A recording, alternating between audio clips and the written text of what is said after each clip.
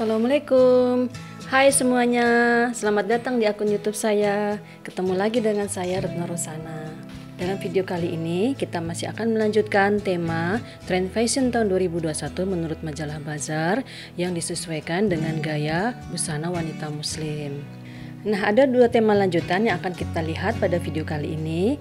Yang pertama adalah team player dan yang kedua adalah cool kakis. Nah, artikel lengkapnya bisa teman-teman lihat pada link yang ada di deskripsi. Jangan lupa ya teman-teman support channel ini dengan cara like dan share video-videonya. Dan bagi teman-teman yang baru bergabung, jangan lupa subscribe dan klik tombol loncengnya supaya tidak ketinggalan video-video selanjutnya. Ayo sekarang kita mulai melihat bagaimana tema-tema tersebut. Cool kakis. Yang dimaksud dengan tema cool kakis adalah padu padan pakaian dalam nuansa warna kaki atau coklat muda kekuningan atau kehijauan. Kalau menurut Bazar, tema ini berkonsep gaya pakaian yang sederhana, agak tomboy tapi tetap feminin. Padu padan pertama pada tema ini saya pasangkan Rok lipit lebar warna kaki dipadukan dengan blus simple warna yang sama. Untuk jilbabnya, saya pilih jilbab warna dasar hitam dengan variasi motif dan garis warna krem dan merah. Tasnya saya pakai tas kulit hobo warna hitam. Untuk aksesorisnya, saya pakai ikat pinggang kulit warna coklat dengan variasi manik-manik seperti berlian dan juga jam tangan. Nah, untuk alas kakinya saya pakai boot dengan potongan di atas mata kaki warna hitam. Padu padan berikutnya, blus kaki saya ganti dengan pasangan inner dan jaket. Innernya manset warna krem, sedangkan outernya jaket potongan pendek motif kotak-kotak dengan warna dominan abu-abu tua dan kaki. Untuk jilbabnya, saya pakai jilbab polos warna abu-abu tua. Sedangkan aksesoris yang saya pakai adalah kalung dengan liontin batu kristal bening. Untuk tasnya, saya pilih tas handbag kecil warna terakota. Nah, untuk alas kakinya saya pilih boot suede dengan potongan tinggi di atas mata kaki warna coklat.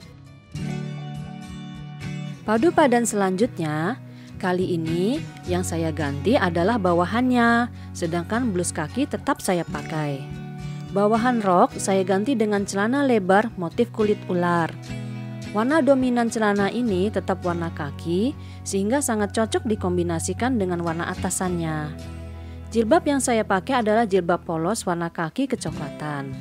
Untuk tasnya, saya pilih tas handbag kecil warna coklat muda dengan bentuk yang unik, setengah lingkaran dengan variasi seperti anyaman. Alas kaki yang saya pilih untuk melengkapi penampilan ini adalah boot dengan potongan rendah warna kaki juga. Untuk padu padan selanjutnya, saya pilih tunik motif dengan warna kaki.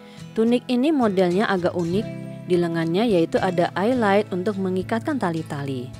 Tunik ini juga dilengkapi dengan ikat pinggang dari bahan yang sama. Bawahannya saya pakai celana panjang kotak-kotak kecil dengan warna dasar kaki.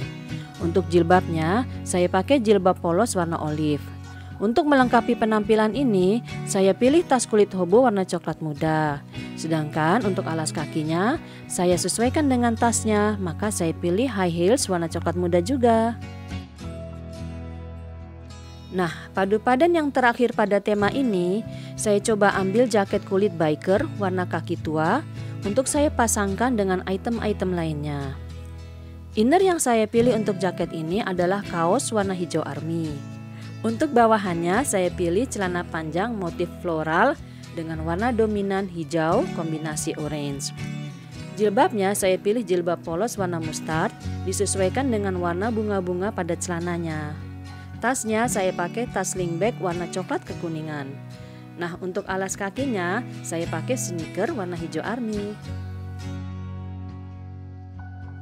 Team player yang dimaksud dengan tim player di sini adalah penggunaan konsep pakaian olahraga yang memberikan kesan atletis. Tema tim player ini menggunakan warna-warna cerah dan juga warna hitam dan putih, baik dengan potongan yang ekstra panjang, crop pendek, pas di badan, dan oversizes. Padu padan yang pertama untuk tema tim player ini Saya pakai jaket olahraga yang warnanya kombinasi putih, pink, dan abu-abu. Mansetnya saya pakai kaos lengan panjang warna hot pink. Untuk bawahannya saya pakai celana jogger warna abu-abu tua. Sedangkan untuk jilbabnya saya pilih jilbab warna hot pink dengan motif tengkorak kecil-kecil warna putih abu-abu. Tasnya saya pilih sling bag kecil warna abu-abu disesuaikan dengan warna celana. Aksesoris yang saya pakai untuk melengkapi tampilan ini adalah smartwatch. Nah, untuk alas kakinya, saya pakai sneaker warna pink untuk menyesuaikan dengan warna jaket dan jilbabnya, juga warna mansetnya. Padu padan kedua pada tema ini, saya pakai sweater yang ada hoodie-nya dengan warna merah terang. Sweater ini saya pasangkan dengan celana jogger warna hitam. Untuk jilbabnya, saya pakai jilbab warna dasar hitam dengan garis dan motif warna merah dan coklat. Di sini saya tambahkan outer panjang tanpa lengan berwarna hitam. Outer ini bisa dilepas jika teman-teman menginginkan kesan yang lebih simpel. Untuk tasnya, saya pakai tas sporty untuk olahraga warna merah. Sedangkan untuk alas kakinya, saya pakai sneaker warna hitam. Padu padan terakhir pada tema ini, saya memilih jaket hoodie warna hijau army. Jaket ini terbuat dari bahan yang halus, sedikit mengkilap dan ringan. Untuk innernya, saya pakai kaos lengan panjang warna hijau army, tapi dengan ton yang lebih muda. Untuk bawahannya, saya pakai celana parka warna krem. Sedangkan untuk jilbabnya, saya pakai jilbab motif army. Tas yang saya pakai kali ini adalah tas pinggang warna army juga. Saya pakai juga aksesoris kalung berupa alat counter untuk mendukung kesan sporty. Untuk alas kakinya saya pakai sneaker warna hijau army juga.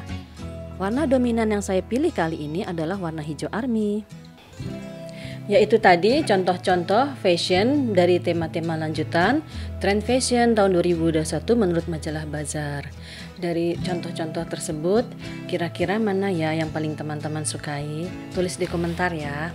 Ya, sampai di sini dulu ya teman-teman video kali ini. Kita lanjutkan lagi minggu depan untuk tema-tema lainnya. Terima kasih untuk yang sudah menonton video ini. Dadah.